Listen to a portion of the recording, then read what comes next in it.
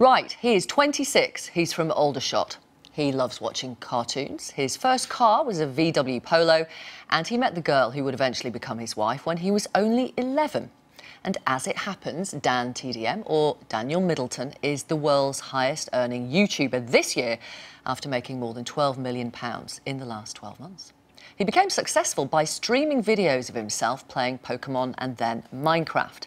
Your children probably watch them.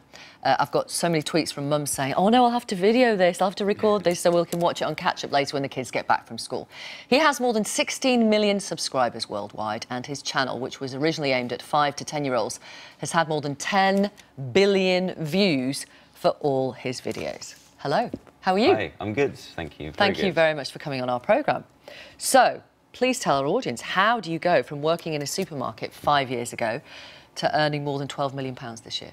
Uh, part of me is not sure. I just do something that I absolutely love and put it out there for for anyone to watch. And turns out a lot of people like what I do, which is I can't ask for more than that. It's Mm. it's crazy. You, effectively, you are an entrepreneur. You craft and edit your videos. You come up with the ideas for them, obviously. So there's a creative side to it as well. There's a technical side. Then you upload them yourself. You sell merchandise. You go on tour. In that sense, you are an example of a British success story. Are you treated as a successful entrepreneur, or are people a bit sniffy about what you do? I think both. It depends. It depends. Like YouTube is a very new thing as a website. It's not that old in the grand scheme of things as well, like compared to TV. So people can be make assumptions about what I do when they see a 20-minute video. They maybe think it takes 20 minutes to make, which is not the case. it's completely the opposite. Um, so yeah, I guess there is some kind of misconceptions to what I actually do.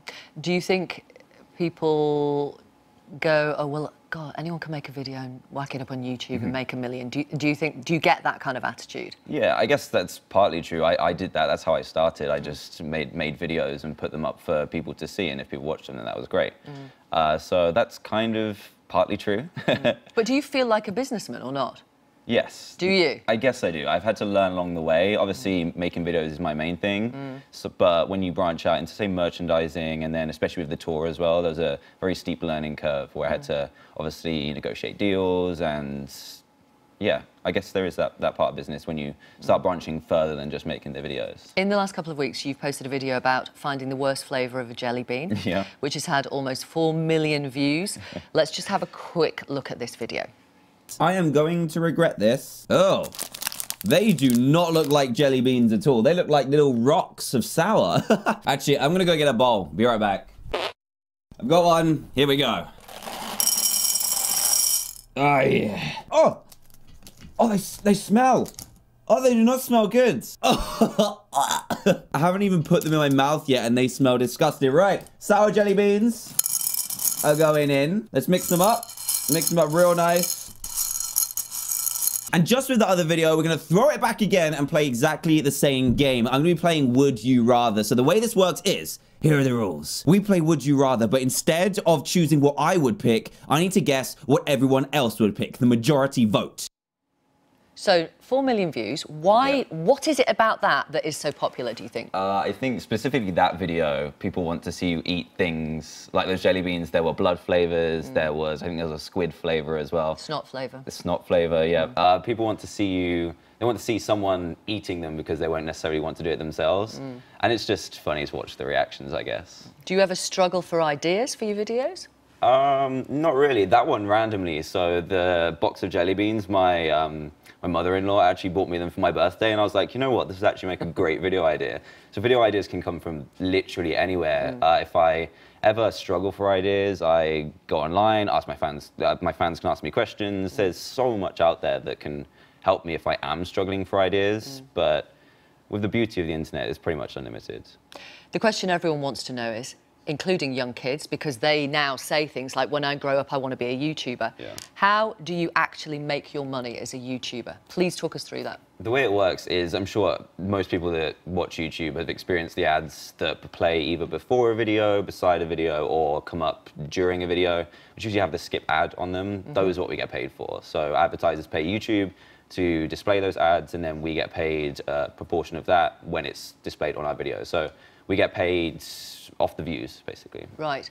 And how many, how long was it before advertisers like, you know, furniture stores mm-hmm. would come to, you know, how many views did you have before they came to you and said, actually, we want to put an ad on here and pay you for the privilege? Well, YouTube kind of manages that yourself. You don't Right. necessarily have the control over the ads. They have an algorithm that displays appropriate ads to the person watching. So similar to other things like Facebook and stuff, you mm. get ads depending on what your browsing history is and stuff like that. So YouTube manages all that. You just get a cut of that mm. after that happens. So you don't actually manage that at all. Mm.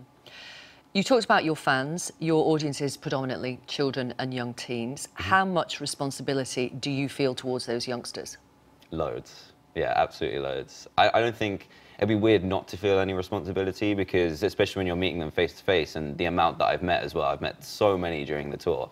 Uh, you realize how much the videos actually mean to them, and more importantly, the parents as well. So.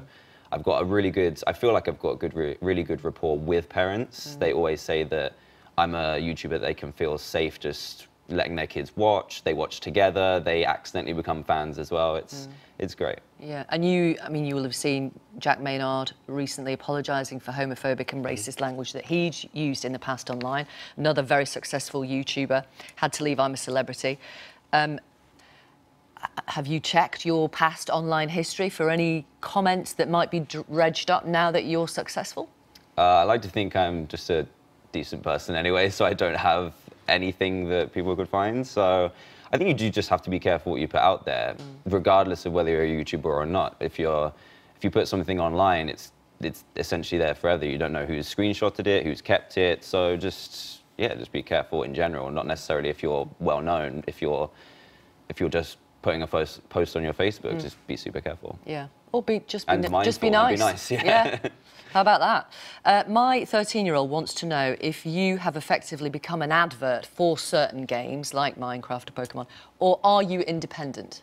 Um, both. So predominantly, like 99% of my content, I just choose to play whatever. Uh, every now and then, a company will approach me with a game that say they offer me like an early gameplay to play, and they'll pay me for that. So it's like if someone gets paid to advertise Coke or something like that, it's exactly the same. But most of the time, I'm offering content on someone's video game, so they let me make Right. videos on their game. Yeah. Um, he wants to know if, if Minecraft pay, play you to, to play Minecraft. No. Sorry, don't. pay you to play Minecraft. No, they just have a really good rapport with everyone. They literally have in their t- terms and conditions you can make whatever content you like with it. You will know the, the, the, the chatter around YouTube recently is that it, it can be unsafe actually for children mm-hmm. and young people, particularly recently. Last week on the programme, we talked to the police warning about live streaming, kids live streaming, and the kind of comments they were getting from paedophiles suggesting that they remove items of clothing, for mm-hmm. example. What do you say about that? I would say with anything that's popular, be it YouTube or just the internet in general, people are going to use it for the wrong reasons, no matter what it is. So I think the key thing is to just keep an eye on what your kids are doing online. Don't let them have their own devices. Well, let them have their own devices, but don't leave them to their own devices. Right. Um, you should just be careful. Firewalls, there's great things in terms of YouTube. There's YouTube Kids app, which is very good at filtering content, which is only safe for kids, and they're very, very strict on what they allow on that app. Um, there's lots of ways to parental control most things and most apps. So experience it with your kids and just keep an eye on what they're doing, basically. And what do you say is the good that comes from YouTube and the internet generally?